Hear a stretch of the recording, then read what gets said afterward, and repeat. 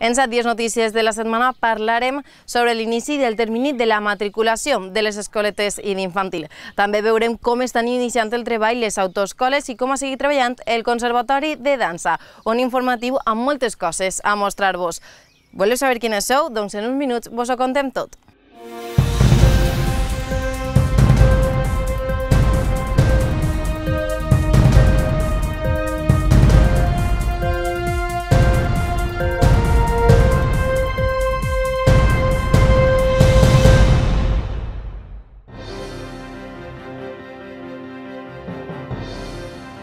S'inicia el termini per a presentar les matrícules de les escoletes i d'infantil. El Conservatori de Dansa continua amb les classes des de casa. Algunes alternatives per afrontar l'estiu amb els més menuts. Comencen els exàmens pràctics de les autoscoles i el seu funcionament. Eres autònom? Coneix les ajudes que et poden oferir des de l'Ajuntament. Coneix què podrem fer a la fase 3 de la desescalada. Històries vives, la lluita constant de Llorenç. Les escoletes del municipi han obert el termini perquè les famílies puguen presentar les matrícules del pròxim curs 2020-2021, un tràmit que des d'ara es realitzarà via telemàtica per evitar que els pares i mares es desplacen fins als centres. El termini de matriculació de les escoletes i d'infantil ja està obert. Fins al 16 de juny es podrà realitzar el tràmit via internet o es podrà assistir al centre amb cita prèvia si no fora possible fer-ho per internet. Estan presentant la sol·licitud de matrícula des del 8 al 16 de juny. Està tota la informació publicada en la pàgina web de l'Ajuntament, on cliquen ahir les famílies i ficar procés de matrícula i va la nota informativa en tota la documentació i totes les clarificacions pertinents per poder fer aquesta sol·licitud. Després vindran les llistes provisionals, les reclamacions i es començarem ja la formalització de matrícula i donat a la que, en la situació en la que estem, pues ara de moment les famílies en la sol·licitud el que fan és una declaració responsable que no ens aporta ninguna documentació que ja ens la portaran quan vagin a formalitzar la matrícula. De moment estan fent-ho, entregant-ho tot per correu electrònic per evitar el mogolló de gent així i el cúmul de gent. I també el que s'ha fet és, en el moment que hi hagi gent que no tinga aquests recursos, tant eh, per a poder-ho fer telemàticament o que no tinga, tinga algun problema eh, a casa, pues, eh, mitjançant una cita prèvia li se dona, ve així i ho subsana i ja està. Donem totes les facilitats que corresponen per a poder fer i en èxit tota la, la sol·licitud de matrícula. Com molts estudis, els del Conservatori de Dansa han continuat amb les classes durant el confinament. Les classes per via internet han sigut claus a l'hora de poder continuar amb el curs lectiu. Amparo Ruiz, directora del Conservatori de Dansa, ens ho conta tot. Bé, Amparo Ruiz, directora del Conservatori de Dansa, que vens a contar-nos un poc com ha sigut el treball durant aquests dos mesos de confinament a casa. Conta'ns com ha sigut per part de, dels professors i dels alumnes. Hola, Amparo, què tal? Com estem? Pues mira, el Conservatori de Dansa portem des, de, des del dia 14 de març, com, com tot el món confinats a casa. Això no vol dir que l'activitat en el Conservatori s'hagi quedat anul·lada, ni, ni molt menys. Simplement s'han tingut que, que reinventar i, a, i adaptar-se a les noves circumstàncies. Per tant, eh, des del dia 23 eh, de març, que havien finalitzat eh, els dies festius que tenien previstos per a les falles, aunque no siguin així, m'emprengueren les classes no presencial des de casa, des de casa el professorat i l'alumnat a, a través de, de diferents plataformes per a poder veure's eh, pues, pues com Skype, com Hangouts, com Zoom, com, eh, bueno, que en cada grup ha sigut diferent, havent tingut que adaptar-se un poc a les circumstàncies de cada família, eh, tot organitzat a través del tutor i dels caps de departament. I podem dir que dins de tota aquesta circumstància l'activitat en el Conservatori de Dansa docent ha, segut, ha, ha, ha continuat en absoluta normalitat. I conta'ns, perquè clar, eh, fer classes de matemàtiques a lo millor és fàcil, però de dansa, com corregíeu, com feien les classes els alumnes, com vosaltres els ho ensenyàveu? Bueno, com tu bé dius, les, les assignatures teòriques són un poc més senzilles de fer a distància. Les nostres, com, com tu saps, les pràctiques de sobre, Amparo, eh, necessitem aquesta presencialitat perquè necessitem corregir-se, tocar als alumnes eh, i sobretot que necessitem unes, unes, eh, unes característiques per a donar aquesta classe. Vull dir, necessitem uns espis, necessitem unes barres en les que els xiquets es puguen fer les classes de dansa clàssica, necessitem un tipus de, de sol per a que no es lesionen i això ha fet eh, que tinguem que modificar un poquet els continguts d'aquestes classes. Eh, està clar que ni el professorat ni, ni l'alumnat tenim eh, un espai en casa en el que aunen totes aquestes característiques. Per tant, hi ha, hi ha continguts que no hem pogut fer des de, des del dia 23 de març perquè no volem que els xiquets i xiquetes del nostre conservatori es lesionen. Eh, principalment hem fet el reforç de tots aquests continguts de la primera i de la segona avaluació i solament eh, avançar aquests continguts que es podien fer des de casa. Eh, havent també treballat molt la part de la creativitat, que era una part fonamental i que sí que se podia fer des de casa, i no te vaig a dir ninguna mentira. És complicat corregir, complicat corregir des de casa, però bueno, en paciència i en bona voluntat per totes les bandes de l'alumnat i del professorat, eh, havent aconseguit coses, eh? no te penses. I com doncs les classes eren individuals o en grup, com les classes normals?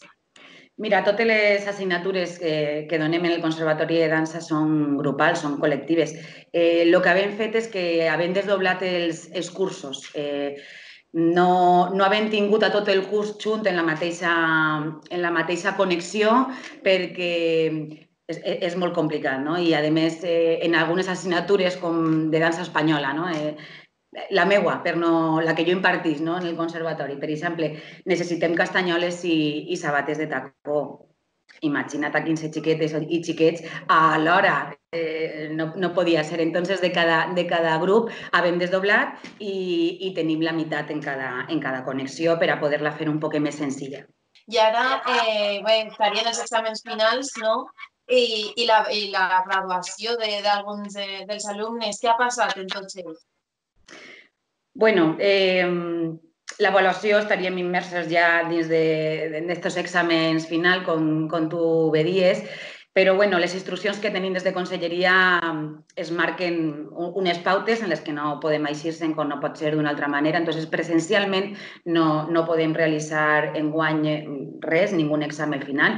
L'avaluació se va realitzar per, en absoluta normalitat, normalitat per part del professorat, eh, tenint en compte molt la primera i la segona avaluació eh, d'aquest alumnat que és eh, quan havien tingut les, les classes presencials. No?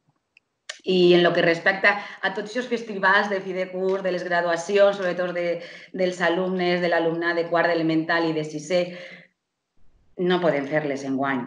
Eh, no, ens ha viure un curs un poc especial i bueno, no, no, no podem fer altra cosa només que ser eh, molt prudents en totes aquestes mesures que es dicten des de, des de Sanitat i des de la Conselleria d'Educació.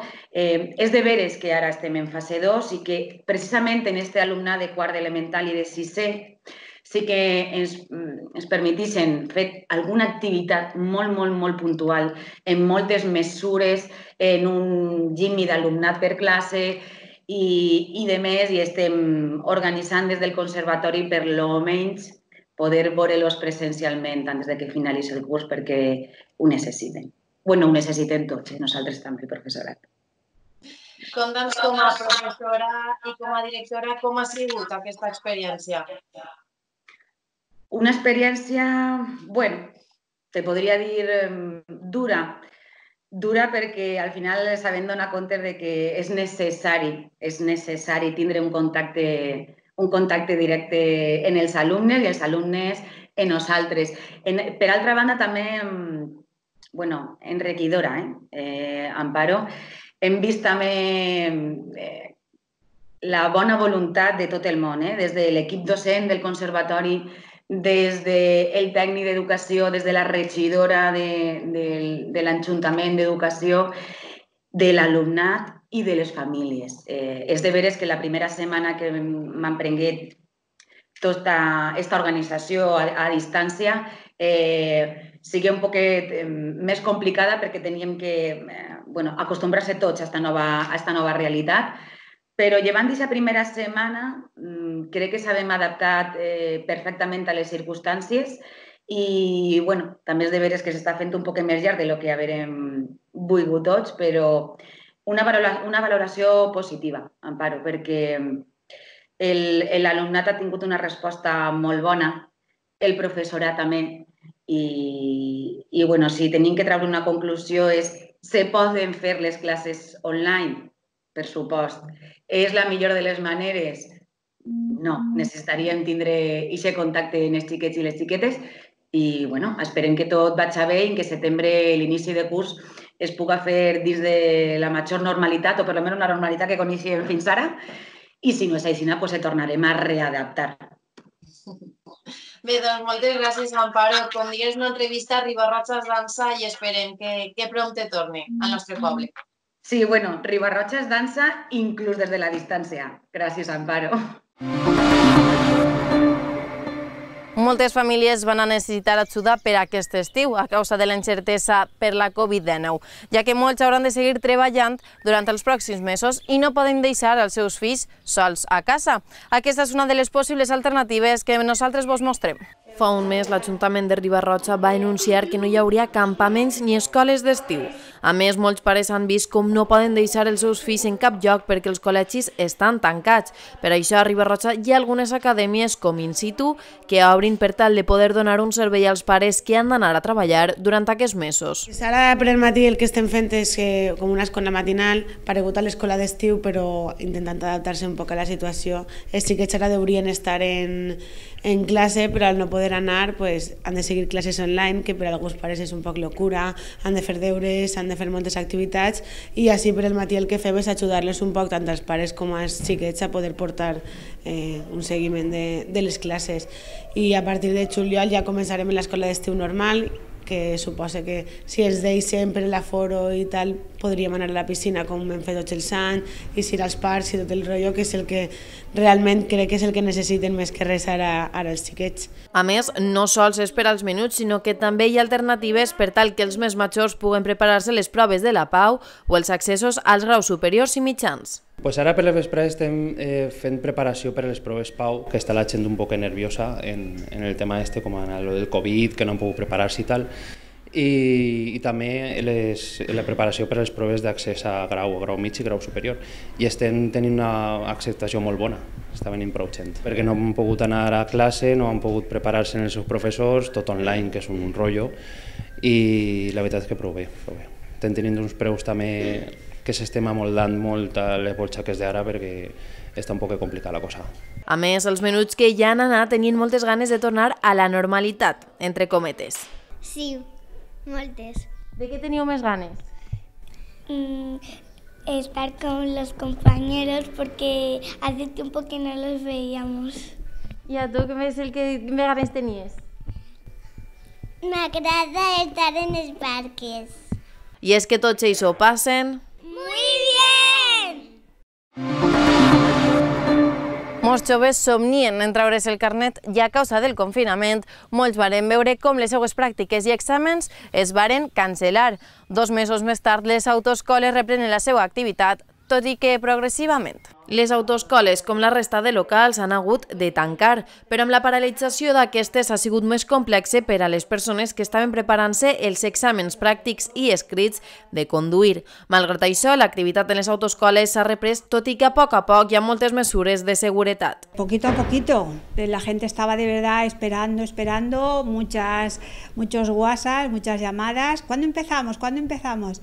Y ya pues lo único que podía decir era cuando entráramos en la fase 2 ya permitían abrir las autoescuelas y hemos empezado pues un poco, a ver, en prácticas bien, en teórica como ya seguían haciendo desde casa, ¿sabes? Online estaban haciendo las teóricas, pues mm, la verdad es que no acude mucha gente por la autoescuela.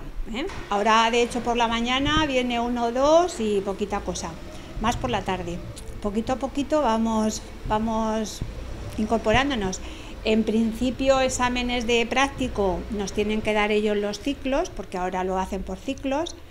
Eh, nos han comentado que solo harán, nos van a dar a cada autoescuela de momento dos, dos alumnos. Les autoescoles creuen que els exàmens continuaran en agost pel que es podria compensar l'aturament d'aquests últims mesos, ja que hi havia molts alumnes a punt d'anar a examen en març i que no han pogut fer. Yo tenía gente eh, preparada y presentada para el examen. Pues ahora esa gente pues va a tener que gastarse más dinero porque estaba preparada. Entonces ahora van a tener que hacer prácticas y, y volverse a poner un poquito a nivel porque después de tres meses aunque sea una cosa que no se olvida, porque es un poco como ir en bici, ¿no? No se olvida, pero sí volverse otra vez a, a poner al nivel. Y poquito a poquito, Des d'ara els alumnes poden anar a les aules, tot i que amb les cadires més separades i una vegada s'han utilitzat els ordinadors, és moment de desinfectar-los bé amb alcohol. D'aquesta manera s'assegura un espai lliure de coronavirus. Si eres autònom i t'interessen les ajudes de l'Ajuntament, atenta a la informació que vos anem a facilitar ara mateixa. Bé, José Luis, regidor de Comerç, que vens a contar-nos un poquet sobre les ajudes que aneu a oferir als autònoms i als xicotets, als xicotets comerços així de Ribarroja. Així és. Bueno, des de l'Ajuntament, preocupats per el tema de la situació dels comerços autònoms i microempreses, pues, eh, hem decidit fer un esforç i crear un, un tipus d'ajudes que hem dit Ribactiva Covid-19 en el que eh, hem procurat arribar als màxims comerços possibles que siguin compatibles en altres ajudes i d'ahir que hem fet unes bases per a poder eh, arribar a, com ha dit, a tots. No? Eh, bàsicament, aquestes ajudes eh, les hem catalogat en tres tres, de tres maneres. Una que se diu Reactiva Impulsa, que és la que acabem de donar ara, que és la més important. I ja pues, hem fet, tenim un pressupost de 400.000 euros i està, se li va donar a tot el que siguin, torno a repetir, autònoms, professionals i microempreses.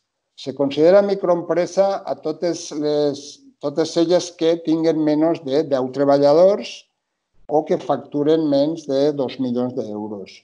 Entonces, eh, es començarem el, el dia 3, va ser quan isquen el BOP, que és quan eh, isquen el BOP ja les bases per a poder demanar-les, i des del dia 3 fins al 16, que són 10 dies hàbils, totes les, tots els comerços pues, poden adherir-se a aquesta a este ajuda, que es diu, torno a repetir, Impulsa, que bàsicament eh, té quatre vessants. No? Una primera que és donem 2.000 euros a tots els, a tots els comerços que eh, estiguen tancats però que tinguin un local de cara a la gent. Eh, després n'hi ha un altre import que és de 1.000 euros, que són tots aquells autònoms o comerços que tinguen una activitat de, que tinguen una part tancada i l'altra oberta.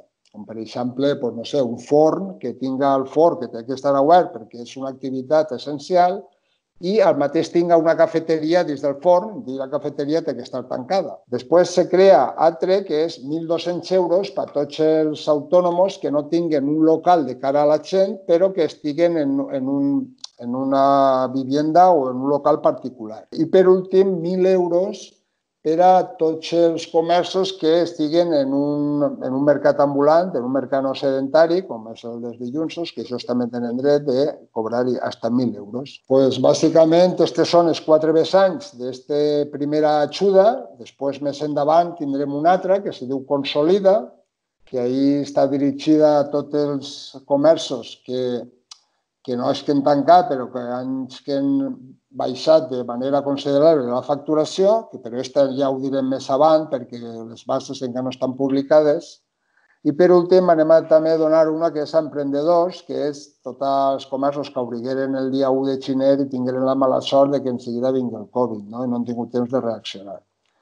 Pues, bueno, pues bàsicament aquesta és l'ajuda. Ara torno a dir que l'impuls és el que està ara en pleno en plena període de demanda i jo vaig tindre una reunió, ampliant un poquet això, en tots els assessors del poble, en el que mm, vaig procurar eh, dirlos o enseñarlos las bases para que estos explicaran de manera més clara als seus clients tota la problemàtica que podia tindre el demanar, perquè, clar, això que tenen una documentació que tenen que aportar i, clar, els assessors són els que tenen més clar aquest tipus de documentació. Per exemple, una de les, de les temes que són importants és que tota la gent que demana l'ajuda no té que tindre ninguna deuda, ni a la Seguretat Social, ni a l'Hacienda, ni a l'Ajuntament. Eh, eh, tenen que demostrar els gastos per a poder mm, eh, tindre aquesta subvenció. Per exemple, jo si tinguera una peluqueria que està tancada, eh, li correspon 2.000 euros, doncs tinc que justificar el gasto de 2.000 euros en base a factures que he tingut que pagar des de l'1 de gener fins al 30 de setembre que poden ser des del pago a proveedors, poden ser a llum, alquilers... El tema és que eh, se demostra de manera fàcil perquè estem donant nou mesos de, de gastos i, i que s'ajuntarà la documentació i després hi haurà una comissió de control que repassarà i... Però bueno, la idea és que arribi a tots. No sé si s'ha quedat mitjanament clar el sí. tema. Conta'ns fins a quin dia poden demanar aquestes ajudes? El, isquent el BOP el dia 2, el dia 3 va ser el primer dia que se podia presentar i fins al dia 16, que és l'últim. Després crec que obrirem ahir 4 o 5 dies per si n'hi ha alguna, alguna documentació que ha eixit mal, podrem rectificar-la. Eh, torno a dir que és de concurrència competitiva. Això vol dir que el pressupost de 4 o 6.000 euros és el que hi ha i amb que hem calculat que arribarà a tots, sí que és de veres que eh, si farà falta tornaríem a ampliar, no? -huh.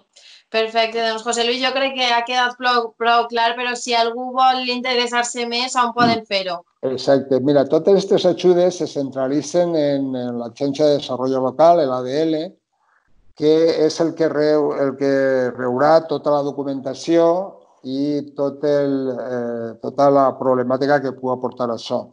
Nosaltres tenim el telèfon de, de, de call center, que és el 277 0062, que és el telèfon que qualsevol pot tocar i allí redirigiran a, al lloc que toqui. No? També han creat, de cara als assessors, els enviarem un, un correu electrònic que para que pogueren ficar en aquest correu tota la, tots els dubtes que tenien, que n'han tingut prou i contestem immediatament i per fer-ho més fàcil. No? O sigui, que poden fer via correu electrònic els assessors, que tenen el comercio arroba ribarroja.es o el telèfon que t'ha dit abans, que és el 96 277 0062, que allí es faran seguir i qualsevol consulta intentaran eh, resoldre en aquest mateix moment o si no, els emplaçaran perquè el dia següent li contestem per si tenim que fer alguna consulta que en aquest moment pues, tingués dudes i no pogués contestar.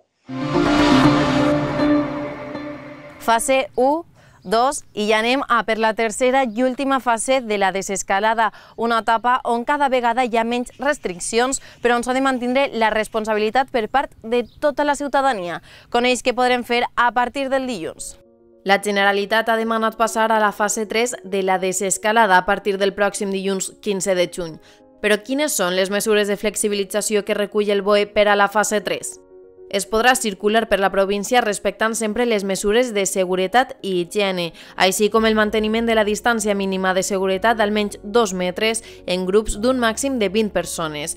El desplaçament a una altra part del territori nacional només es podrà realitzar per motius sanitaris, laborals, professionals o empresarials, de retorn al lloc de residència familiar, assistència i cura de majors, dependents o persones amb discapacitat, causa de força major o situació de necessitat no hi haurà cap franja horària per a cap col·lectiu.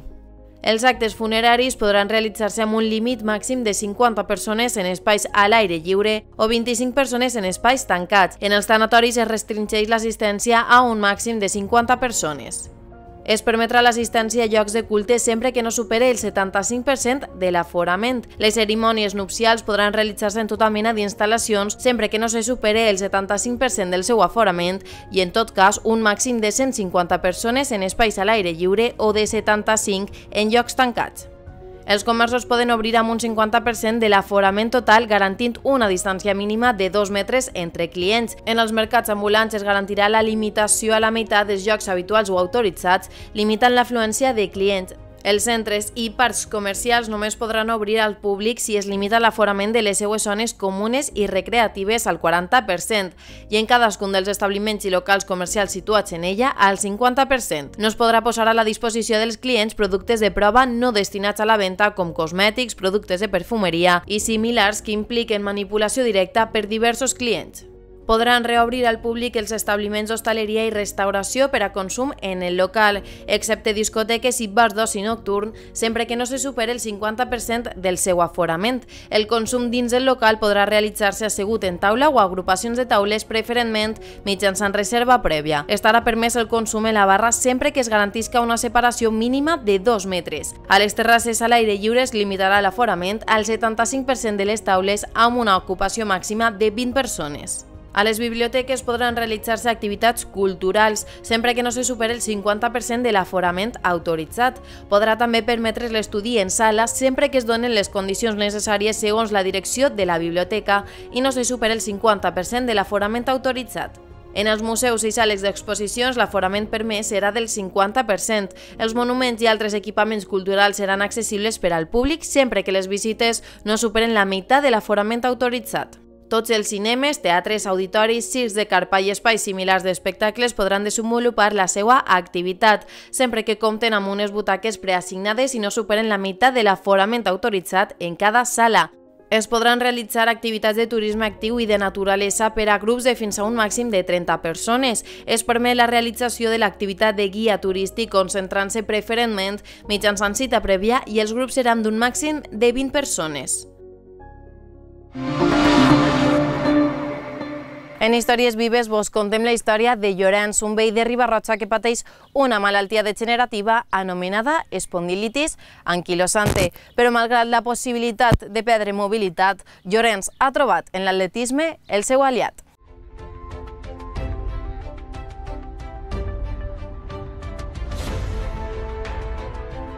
Mi nombre es Lorenzo García, García Montal.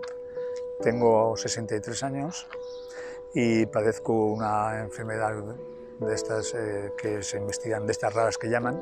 Amb tan sols 26 anys, els metges li diagnosticaren a Lorenzo una malaltia degenerativa anomenada espondilitis anquilosante. Pues la verdad es que en un principio te la dicen y tampoco eres muy consciente de, de lo que en realidad tienes.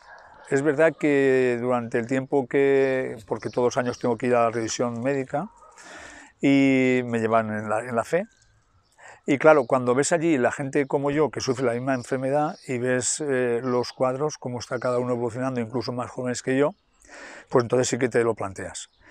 Sobre todo el, el, miedo fue cuando la primera vez que me hicieron una analítica, que detectaron lo que tenía, y recuerdo perfectamente que me acompañaba mi señora y fuimos a, a la fe, en la planta, era, era el sótano, y se llamaba medicina nuclear.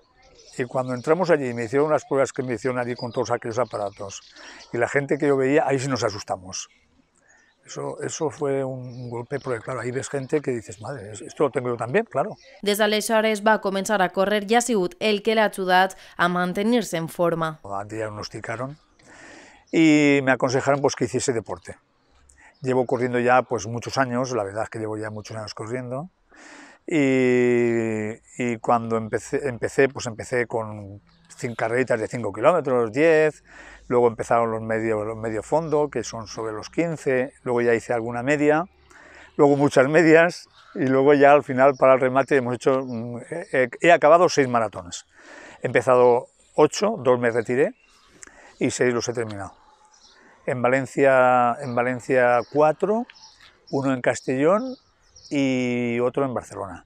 Lorenzo encara recorda la sensació d'aquella primera vegada que va acabar una marató. Decía que flotaba, eso era una nube, la verdad es que es increíble, estaba dando brincos. Eh, en la meta estaba un compañero mío, eh, José Miguel Coy, y antes de llegar a la meta estaba animando a la gente, a los que, estaban, eh, a los que entraban, que ya había terminado, ya la había corrido. Cuando lo vi, me voy cara a él, Lorenzo, ¿pero qué haces? Vete para la meta. La verdad es que me lo pasé muy bien. I encara que els metges no li recomanen este esport... Eh, no debería, pero eh, ha sido tan... Eh, engancha tanto y te lo pasas tan bien que al final lo haces. Pero quizás no sería lo más conveniente.